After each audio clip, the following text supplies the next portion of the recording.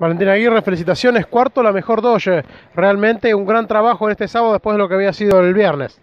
Hola, buenas tardes, sí, la verdad que muy muy contento con, con el salto que, que, pegamos en el auto de, de ayer a hoy.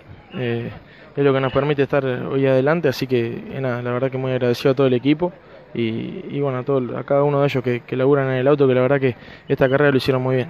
¿En qué mejoró el auto Valentín para pegar este salto? Eh, mejoramos mucho la tracción, teníamos problema de tracción, si bien íbamos bien en todos lados, el auto estaba para estar entre los 15, pero, pero bueno, eh, teníamos un, algo para corregir, lo corregimos muy bien para hoy. Y, y nada, quedamos cuarto, eh, nos mezclamos ahí entre los, entre los Ford. Así que bueno, eh, espero que, que salga todo bien mañana. ¿Qué tipo de pista te encontraste? ¿Era mejor respecto al clima de ayer? Sí, sí, porque más que nada la pista estaba un poco más limpia y más engomada, así que eh, nada, el clima creo que fue similar. Eh, pero nada, no, nos vino bien, eh, así que bueno, vamos a estar largando en primera fila mañana.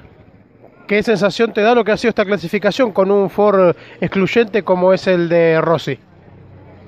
Ah, o sea, párrafo aparte para, para los Ford. Eh, me, me, desviví toda la vuelta para, para, tratar de hacer el mejor tiempo, pero eh, no, no, no, se puede.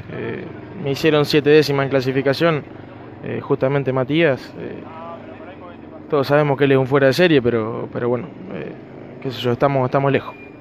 La última, Valentín, con respecto a los mil kilómetros, panorama con respecto a tus invitados. No, no, estamos, estamos lejos todavía de saber quién va a ser el invitado, así que bueno, vamos, vamos a esperar un poco más. Valentín, gracias por estar en Mundo Sport y que sea con éxito el resto del fin de semana. Bueno, muchas gracias, salud.